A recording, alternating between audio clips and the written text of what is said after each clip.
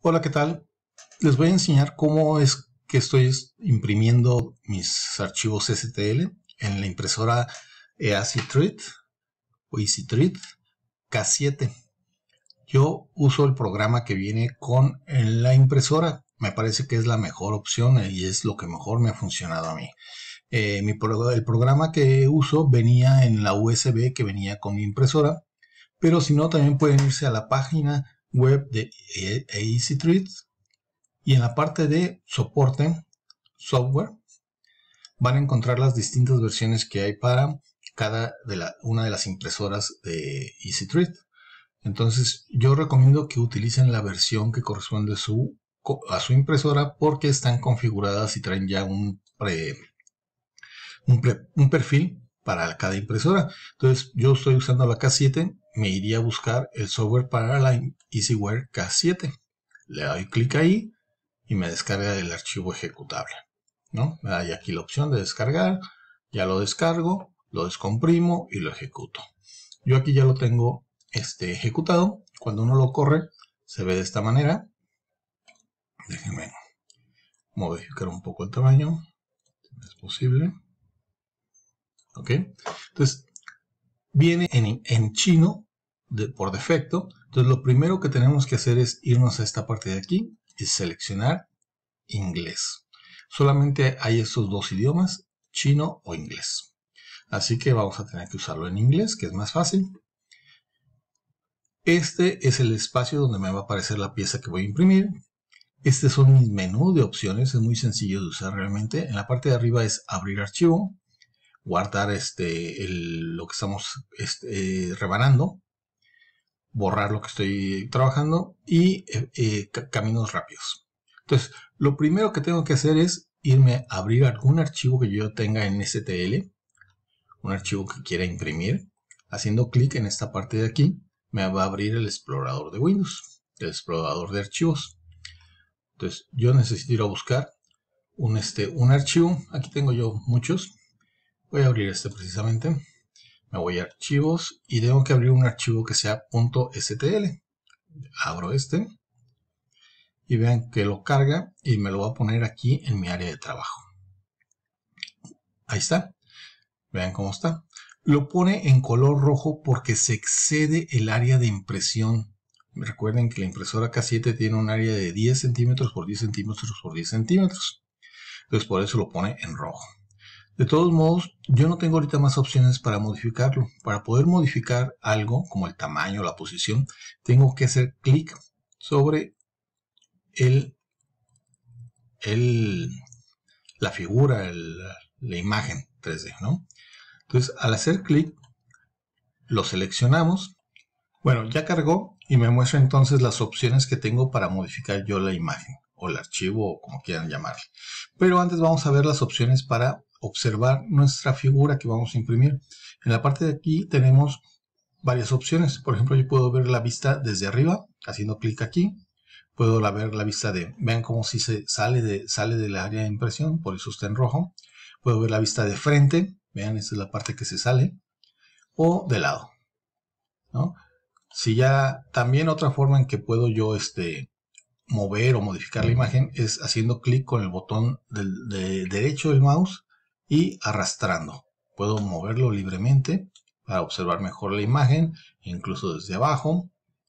Es una forma también muy práctica de moverlo y estarlo viendo. Botón derecho del mouse, dejándolo presionado y arrastrando el mouse.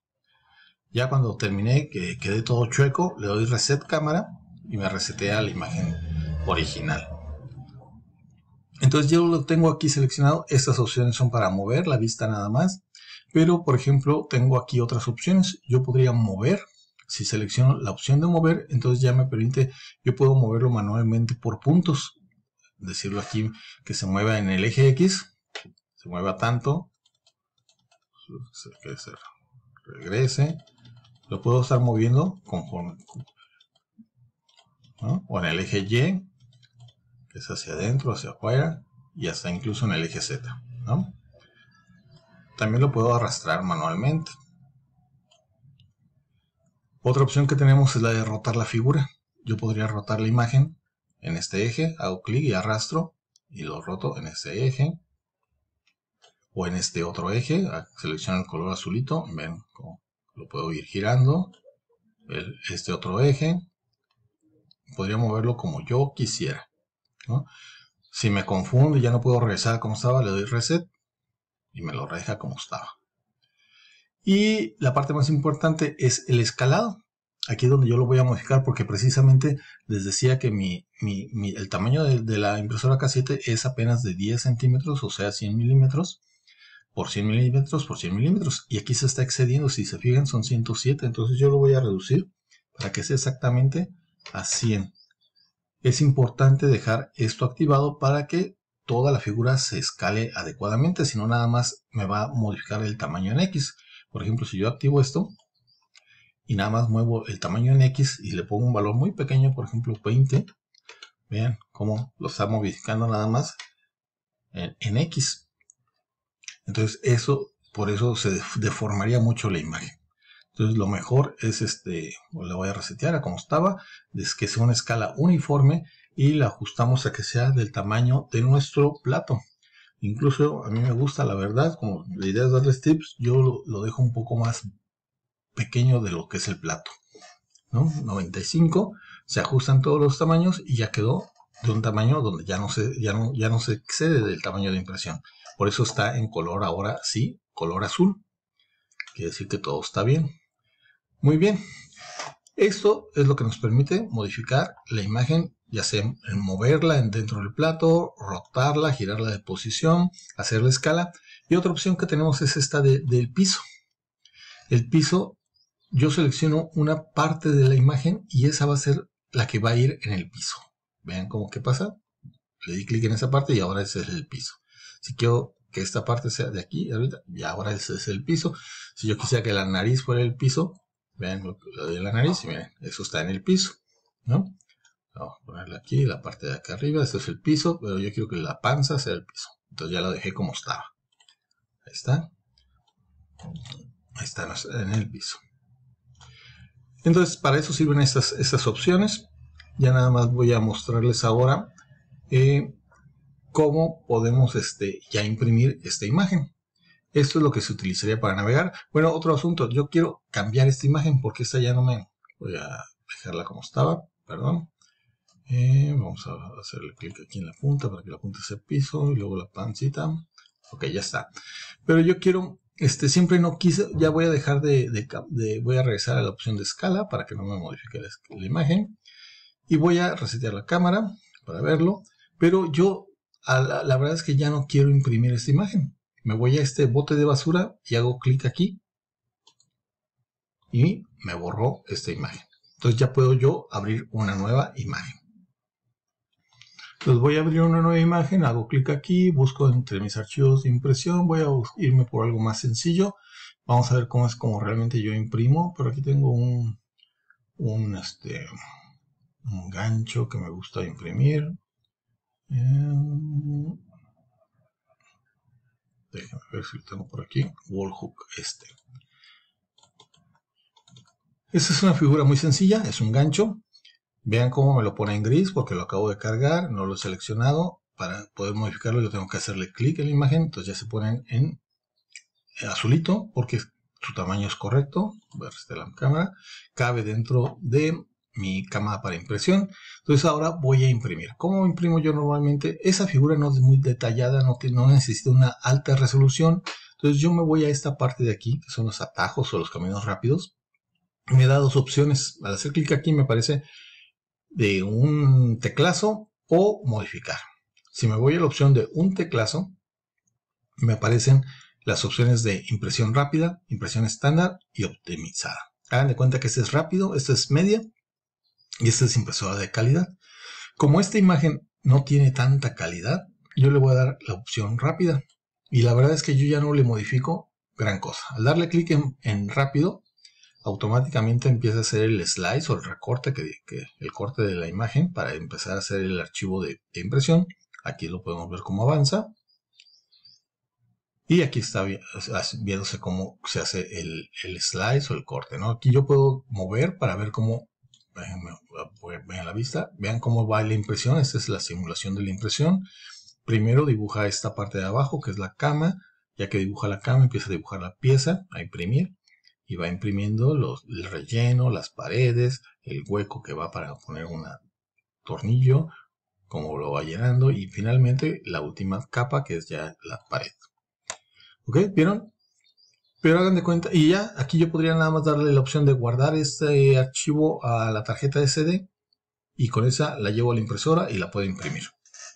Pero la verdad es que yo siempre me gusta modificar y tenemos que modificar. La impresión es mucho ensayo y error, entonces yo tengo que irme a modificar. Si yo quiero imprimir en versión rápida, lo que voy a, ya que la generé en este formato de rápido, me puedo ir a Custom y me muestra todas las opciones de configuración de, este, de esta versión rápida. Entonces yo aquí puedo modificar la calidad, pero como ahorita no lo voy a modificar porque no me interesa, la velocidad ya está en la velocidad máxima, no me interesa bajar la velocidad. El relleno, aquí puedo yo modificar qué tan gruesa es la capa de superior, o qué tan gruesa es la capa baja.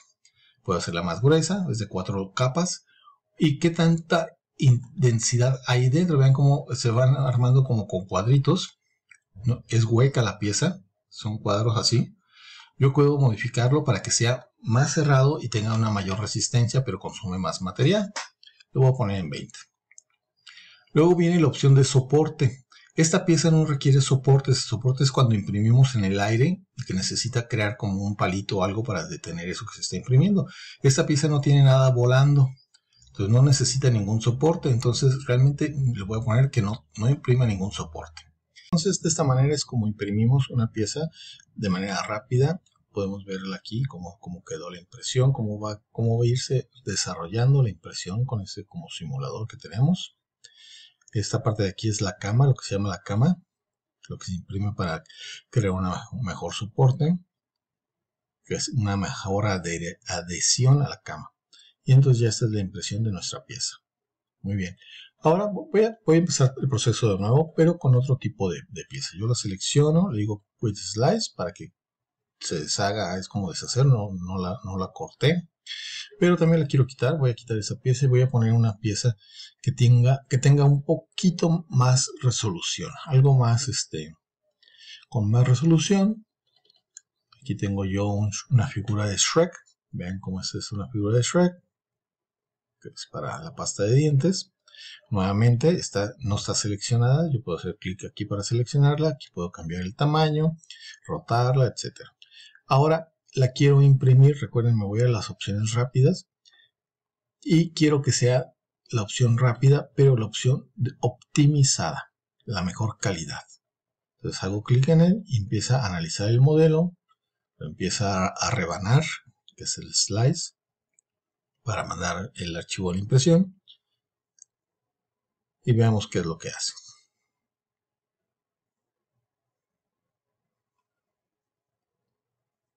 Ahí está, ya lo está generando. Aquí me dice que va a tardar 2 horas 38 minutos y va a ocupar 200.70 metros de material. Y miren qué pasa ahora. Ahora crea todos estos soportes para poder hacer la impresión correcta. Crea todos estos soportes que, que hay aquí. Entonces, podríamos mandar directamente aquí la impresión, es decir, guardar e imprimir. Pero recuerden que de todos modos siempre tenemos que ajustar de menos la temperatura. Entonces ya que hice la versión optimizada, que es la más de más alta calidad, me voy a ajustes de esta pequeña, de este slicer. Vean cómo ahora, como es de más calidad, de más resolución, disminuyó el tamaño de la capa a punto 1. Eso es más fino, también eso lo disminuye. Pero también algo importante, la velocidad de impresión bajó. Antes estaba en 50, ahora está en 20 todos sus valores están en 20, estaban en 50. ¿Por qué? Porque a una velocidad de impresión más lenta la calidad de impresión mejora mucho. Entonces, yo casi siempre imprimo en esta velocidad lenta, no tengo prisa y me garantiza una mejor impresión. El llenado interno pues está igual, lo dejamos igual. Lo interesante aquí es los soportes. Vean qué pasa si yo le quito que no haya, que no haya soportes y vuelvo a generar el slicer. Le digo, comienza a rebanar lo genera, pero como le puse que no hay soportes, no me va a generar todos estos soportes para las piezas que están volando. Vean como ya no están. Ya no está todo lo que estaba aquí, ya no está. Pero ¿qué va a pasar? Que cuando empiece a imprimir esta parte de aquí, es muy probable que no tenga soporte el plástico y se empieza a caer y se crea una mala impresión. Entonces sí son necesarios los soportes en esta pieza porque tiene muchas piezas que están volando en el aire. Entonces, ¿cómo se va a mantener el plástico en esa posición? Va a ser muy este, complicado. Necesita los soportes. Entonces, yo voy a activar los soportes en toda parte. Esto sería solamente de aquellos que tocan el plato. Pero muchas veces hay piezas que sobre la misma pieza hay que crear soporte. Entonces, yo voy a poner en todos lados la cama. ¿Qué tipo de cama va a ser? Voy a dejar el wrap y me voy a modificar nada más la temperatura a 220 el wrap ya les digo yo que a mí me gusta usar menos material entonces le doy un margen de 2 y una capa de 1 nada más todo lo demás lo dejamos igual la calidad de impresión la dejamos igual la velocidad de impresión la dejamos igual y hacemos el slicer el rebanado que en realidad lo que hace es que genere el archivo que va a estar generando el código de, necesario para la impresora. Entonces ahí está ya rebanando con esta nueva versión que yo es la que uso. Y entonces ya me va a generar el, archivo, aquí está, bien, genera soportes, genera una cama más pequeña, pero ahora se va a tardar 2 horas y 30 minutos y va a ocupar dos 0.45 metros, un poco menos de material. Entonces aquí puedo ver yo cómo están, ahí están los soportes que se hacen. Entonces esos soportes se eliminan ya que se imprime, se le quitan. Vamos a ver cómo se, cómo, cómo se va generando el slicer, simulándolo. La impresión va a empezar así, con el raft. Empieza con el wrap, luego empieza con la, cama del wrap, es esa, la parte de abajo. Ahí va, ahí va la cama. Esa es la cama. Trato de tenerlo en la cama, pero no alcanzo. Ok, es la cama y ya empieza la pieza. Empiezan las piernitas, el relleno y empieza a imprimir algunos soportes que va a ocupar cuando llegue en la parte de arriba, la cara. Ahí están los soportes y concluye. Ya nada, le digo guardar a la tarjeta y lo mando a impresión. Y de esa manera es como yo normalmente imprimo. Entonces, en resumen, les podría decir que yo traer esto, a deshacer el slice. Pues lo que se debe de hacer, bueno, yo voy a quitar este, lo voy a tirar a la basura, es abrir un archivo. Abrimos el archivo, en este caso voy a usar unos, este, unos, eh, este tipo, que uso para mis drones. Aquí está el archivito, es un archivo muy pequeño. Yo lo puedo desplazar, lo puedo mover por aquí una vez que selecciono y le digo mover. Lo puedo mover, lo voy a poner por aquí. Pero ahora quiero imprimir varios a la vez. Abro otro archivo, vuelvo a abrir ese archivo. Vean cómo yo puedo imprimir hasta las piezas que guste al mismo tiempo. Ahora voy a seleccionar este otro, lo voy a mover, voy a decir que lo ponga por aquí. Puedo abrir otro, otra vez. Este lo voy a seleccionar, lo muevo por aquí y abro otro. Son piezas pequeñas para drones que yo puedo imprimir al mismo tiempo para aprovechar la impresión. Entonces lo voy a poner aquí. Así, van cómo están acomodados. Y ahora lo que hago normalmente para imprimir, me voy a, a, una, a la opción de, una, de una tecla. Como estos son archivos para drums que son pequeños, pero sí me gusta que tengan con una calidad más o menos aceptable y que se impriman lento, al cabo son pequeños, me voy a la versión optimizada. Los optimizo analizo los modelos, porque va a hacer todo lo que encuentre dentro de, este, de, la cama. Y me va a generar el slice optimizado para estos cuatro. Vean cómo hace los cuatro al mismo tiempo. Entonces yo aquí, volviendo como le hago normalmente, me voy a custom, modifico, está en la más alta calidad, la velocidad es lenta, pero estas piezas, esas piezas no utilizan cama porque no, es necesario, tienen bastante adhesión. Entonces, en lugar de eso, voy a usar una falda, lo que se llama una falda. Ahorita les explico para qué. No necesita ningún soporte. Y la falda, que es lo que se llama el skirt, la falda nomás dibuja una línea alrededor. Ahorita les explico más para qué. Entonces, dibujo falda, no hay soportes. La temperatura, recuerden que eso es lo importante con lo que vamos a estar probando y jugando a ver con cuál sale mejor. Y lo demás, todo lo demás queda igual. Le digo iniciar slice y vean qué pasa. Como que era la cama. Aquí teníamos cama antes. Esta es la cama. Pero ahora le puse que haga una falda. Entonces está analizando los modelos, empieza a generarlos y miren también lo que ocupaba de, de material, 1.23 metros.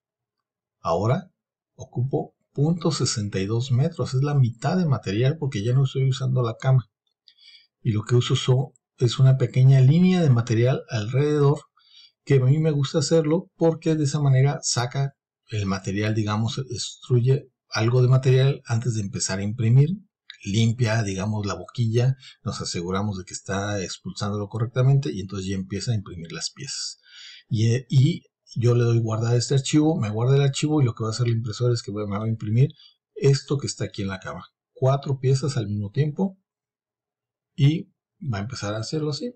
Empieza primero con la parte de, exterior, con una línea, y ya después empieza la parte baja de la pieza y va creciendo, va aumentando hasta concluirla. Y ya, guardar y así de esa manera imprimiría. Esa es la forma básica en la que se usa este sistema. No es complicado, es muy sencillo. Eh, voy a, eh, digo, la forma básica para mí que me ha funcionado es la de utilizar los preestablecidos, los, los perfiles ya preestablecidos de versión rápida o versión calidad. Cuando quiero imprimir algo con mucha calidad, pues me voy a, a la versión de, más calidad.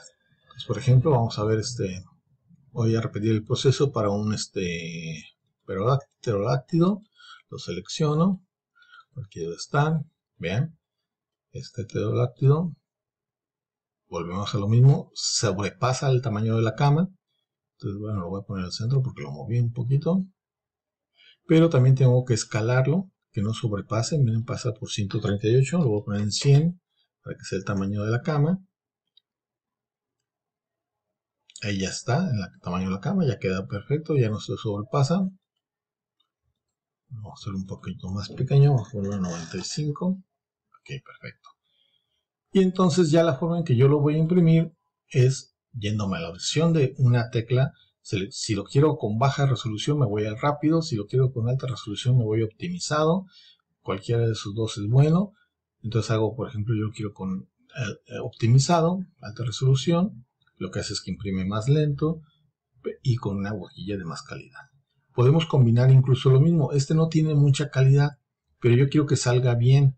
Entonces puedo darle el optimizado para que imprima de manera lento, despacito, pero puedo modificar la resolución, que en lugar de que sea de punto 1 la capa, que sea de punto 2. De esta manera no tiene tanta resolución, es un poco más rápido la impresión, pero la velocidad de impresión es lenta.